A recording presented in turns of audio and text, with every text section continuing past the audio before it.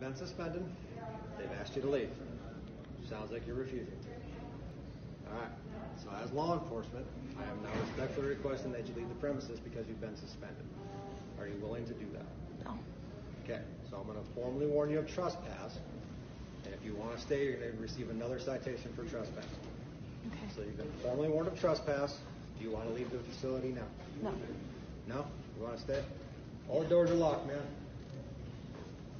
So you want to stay? How long are you planning on staying for? I don't know. Okay. I'm going to go write the citation for you. I'm going to let you know what's going on at this point. Okay. This entire building now is in lockdown. So you have now restricted the movement of over a thousand students who are not allowed to leave their classrooms because you're trying to get back into the classroom, which you are not allowed to do because you've been suspended. Okay?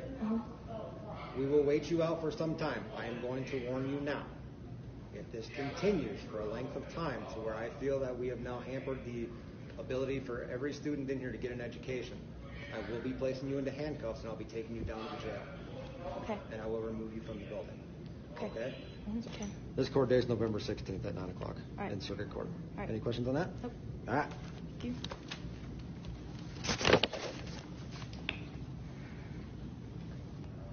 Gave me a, another $500 citation. I'm still refusing to leave. They said they'll arrest me if I continue to refuse. All right. So you're still refusing to leave, Yes, sir. even after you're receiving your citation? Yes, sir. All right. Then at this point, I am going to place you into custody for trespassing. Okay. Uh, go down to the jail. How's that sound? All right.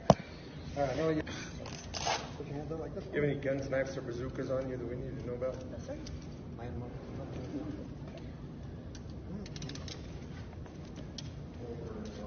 Madam 13 Ward, one in class